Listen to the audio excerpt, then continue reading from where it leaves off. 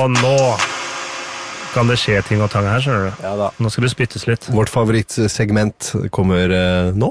Og hvis du er en rapper og kommer opp hit og ikke har gjort noe klart, fuck out of here. Ja. Yes, sir. Eller som eh, jeg liker å si det, get the fuck out of here.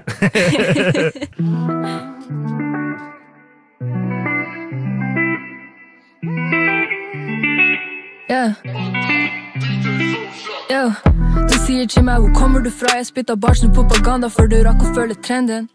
Så når jeg rimer setninger på plass, snakker jeg sant og driter i om andre kanskje blir offended. For dette her er mitt synspunkt, og jeg punkterte alle ryktene jeg fikk på godt og vondt. Null kjøpt place, yeah. null moms. Det du ser, er det du får, og tankeboksen min står tom.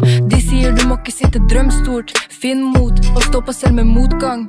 Så når jeg er 19 år med ordbok og en drøm, så må jeg sette årsplan. Jeg vil ikke sitte med et liv jeg trenger ferie for å rømme fra. Lån i husbanken, fire kids og en jævla mat. Neste gang du klager til meg inn i telefon, kan du se deg selv i speilet og vurdere hva du tror. Satt meg selv på kartet der med en plan og en post og et call. De ville signere meg med en gang. Starta på engelsk, jeg var tolv mann. Tro meg når jeg sier ja, mye jeg kan skryte av. Jeg kun i begynnelsen, men alt er i det minste sant. Rappingen for meg har alltid ligget til lyrics. Når jeg kommer til den delen, kan jeg skryte av min fremgang. Jeg er meg selv, ikke perfekte. Jeg viser følelser, det er det som gjør meg ekte. Jeg driter i om andre ser det som en svakhet. Sier det rett ut, jeg er for urolig til å fekte. Verden kan ikke se på meg som jeg vil se på den. Sverger det jeg kanskje tenker positivt om dem. Jeg vil alltid ser det gode i et annet menneske. Hjelper brutt, men verden trenger lov, det kan ikke vente. Jeg er meg selv, ikke perfekte. Jeg viser følelser, det er det som gjør meg ekte.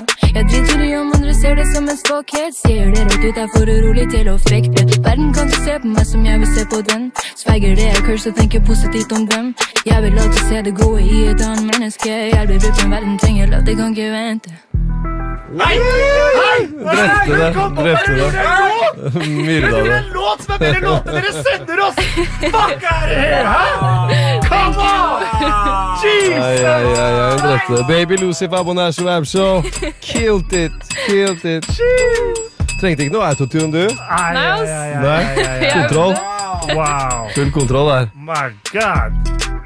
Herlighet. Ja, dette var, det var gøy. dette var bra. Hva tenker du, Gils Gucci? Var du fornøyd? Ja, dette var uh, solid, og dette er andre intervjuen gjør, så er det terningkast seks. Oh. Og første freestylen eh, live på radio, vil jeg tro. Yep. Ja, godt å høre. Oh my days. Nei, det var gøy. Tusen, Ja. tusen hjertelig takk for at du stakk innom og tok deg tid, og gratulerer så mye. Vi gleder oss masse til å høre masse om deg fremover, og du er hjertelig velkommen opp hit når som helst. Thank you. We'll be following you and giving you a cheer. Fredager fortrinnsvis, da. Nei, nei, men vi, vi er jo her hele tida. Vi er jo her hver dag. Er ikke- er ikke dere det? Jeg er ikke det. Okay, ok, jeg er det. I desember. Da Ja, ja, og vi har, vi har masse ting før det også. Ja, du blir allerede med. Han er så gira på den Ja, julebordsendinga. Jeg Elsker det.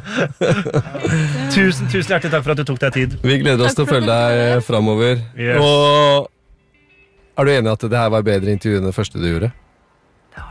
Yeah. Nei, nei, kom igjen, da! Stopp, stopp, stopp! Yeah, baby Lucifer. Get it.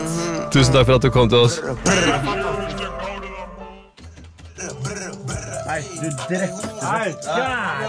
Det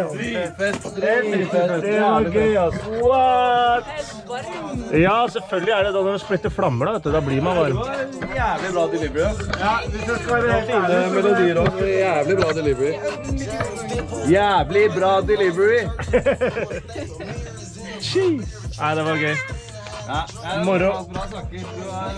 Du har noe å komme med. Ja. 100. Ja, jeg er imponert. Jeg òg.